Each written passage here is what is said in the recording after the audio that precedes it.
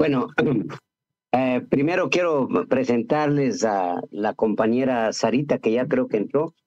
Es eh, miembro del, eh, es parte del, del, equipo nuestro en, en Washington, D.C., de Semillas de Libertad. Básicamente es una compañera peruana que reside acá en los Estados Unidos, en Virginia.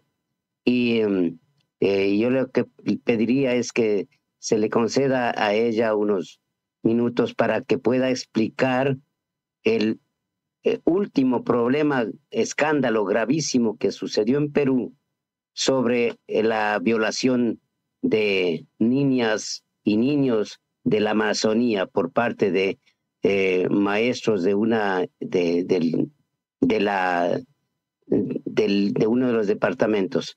Bueno, ella sabrá explicar todo el, asunto, pero previamente quería, por favor, antes que aprovechar de una vez este momento para poner en, la, mesa de discusión un tema que creo que todavía no, no lo hemos eh, hablado en, el, eh, en nuestro foro, y que es el tema de, la, de, la, de los eh,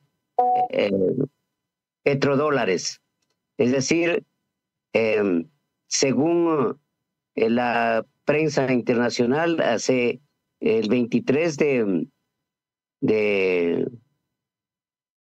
junio termina, y ya, como decir mañana, termina el contrato de compromiso de la, del, del, petrodólar entre eh, Arabia Saudita y eh, Estados Unidos. Y el eh, gobierno de, de, Arabia Saudita le ha dejado dejar muy claro que no va a, a, a, reanudar, a, reanudar ese contrato. Es decir, quedaría absolutamente en nada ese contrato eh, y, al, y, y, lo que es más, estamos también está en contactos con los BRICS, porque quiere integrarse Arabia Saudita a los BRICS.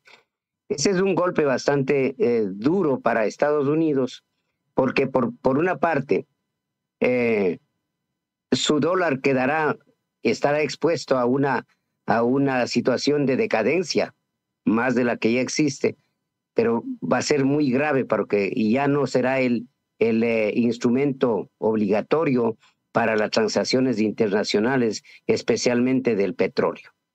Entonces, eh, eso es importante que lo conozcamos. Es que tienen ah, alguna otra eh, análisis, pues solamente quería ponerlo en mesa de discusión, porque eh, por otra parte, Arabia Saudita, como ya, ya lo dije, está en conversaciones con, con los BRICS porque quiere integrarse a, la, a esta eh, organización. Eh, entonces, eh, creo que esto tiene importancia porque estamos hablando un poco de la correlación de fuerzas, cómo va presentándose en las actuales circunstancias de la guerra entre Ucrania y, y no diría de la, ya lo dijo el compañero Luis Ortega, entre la OTAN y, y Rusia. Entonces, esto puede ser un, un, duro golpe para Estados Unidos y no sé cómo vaya a incidir. Ahí sí debo decir que no sé cómo vaya a incidir en el futuro de esta eh, guerra por la, eh, por la eh, globalización.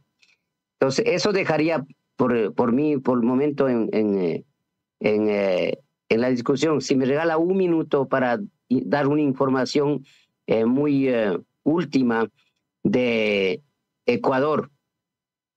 Ecuador, el Congreso acaba de, tomar una resolución por mayoría absoluta en contra del presidente Novoa y, pidiendo disculpas a todos los países que han sido eh, ofendidos por la política exterior de, de Novoa.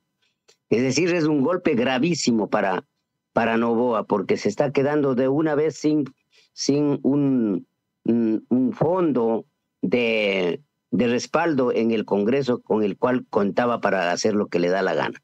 Entonces está perdiendo incluso eh, soporte de los mismos eh, partidos de la derecha, porque las medidas que, que tomó eh, Novoa y la política, la, la, mala política de relaciones internacionales, con diplomáticas internacionales con varios países, comenzando por, por, por México, pues ha resultado en un prácticamente aislamiento del pueblo ecuatoriano, ¿no? En cuanto a las transacciones eh, comerciales. Y eso está afectando obviamente a la misma burguesía interna de, del, del, Ecuador.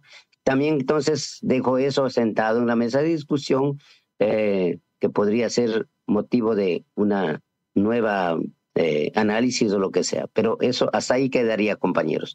Muchas gracias. Les presento a compañera Sarita.